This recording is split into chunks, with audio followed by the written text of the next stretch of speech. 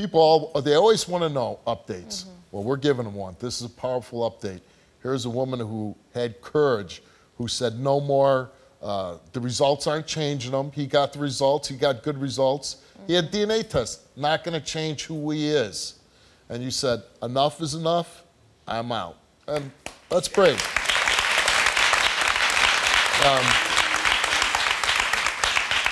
and I hope a lot of young women that watching you, I hope you serve as inspiration for them to get out of the situations that they're in if they're in a bad situation.